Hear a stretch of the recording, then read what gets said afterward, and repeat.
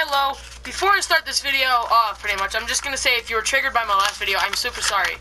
Uh, but you guys are actually wrong in the comment section. Anorexia is not caused by diseases. I actually have facts right here in front of me on a piece of paper. So I'm sorry if you were triggered by that. Um, but let me just say, I read the comments and I realized you guys are mad at me and you guys are triggered, I guess. But I'm sorry to tell you this, you're just wrong. Uh, you guys are very.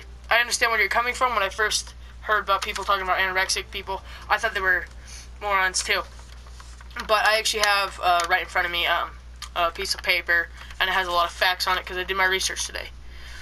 So, eating disorders. A condition in which people are compelled to need to starve, to binge, or to binge and purge is an eating disorder. To eat large amounts of food over short periods of time is to binge. To rid of the food by vomiting or using laxatives and whatever that says is to purge. Eating disorders are addictions. Teens are u- with eating disorders feel compelled to starve, eat to excess, vomit, or use lact- laxatives, and exercise to the extremes to control their weight is it, as with other addictions, eating disorders are caused by misformed attitudes and harmful ways to copy of copy.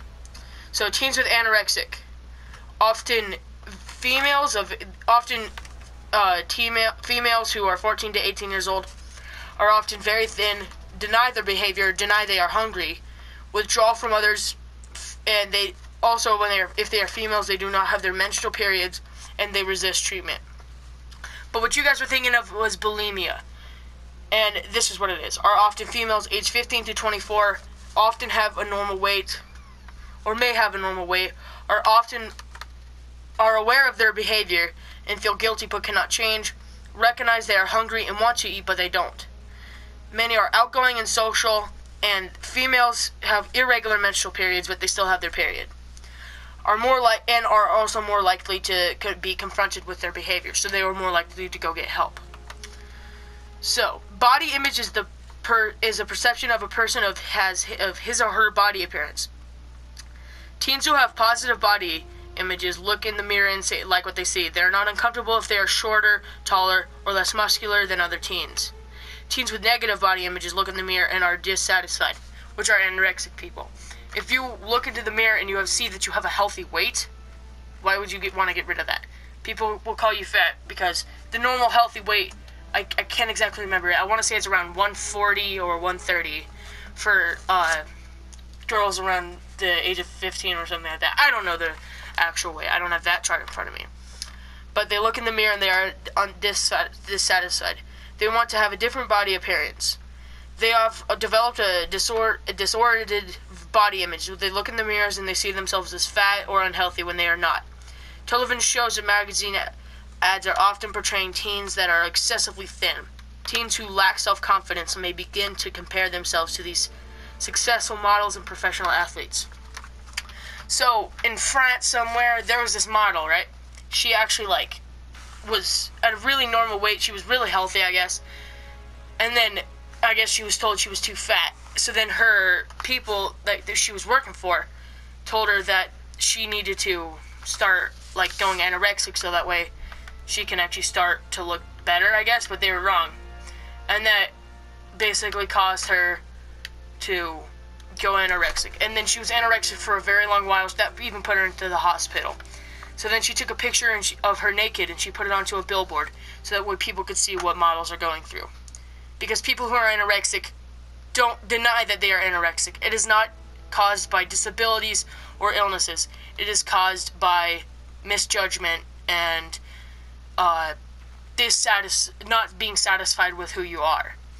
People always get this wrong, and I understand that you guys thought I was wrong, but I was actually right.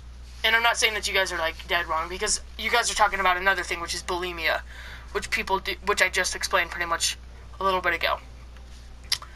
But also, it's just I understand where you're coming from because here's also some behaviors of an eating disorder. I constantly compare myself to others. I am unhappy with my physical appearance. I wear baggy clothes to hide my body changes, such as my breasts. Females. I think it is disgusting to have menstrual periods. Females.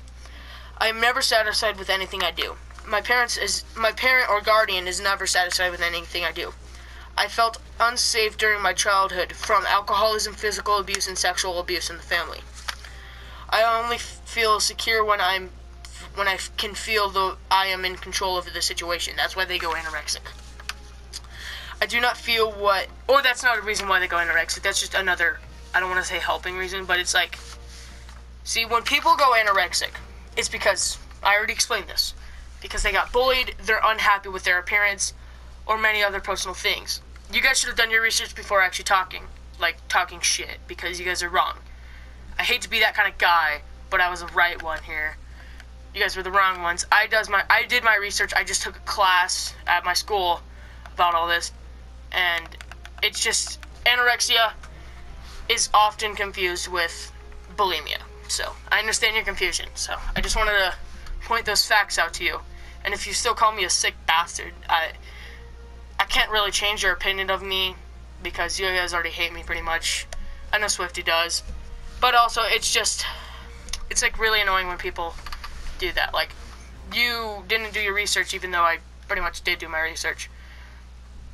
Also, it seems like whenever people are anorexic, you can tell, but people who are have bulimia, you can't tell sometimes, but you also can tell because they will also tell you like, I think I'm anorexic, but they're wrong. They they're actually bulimia have bulimia.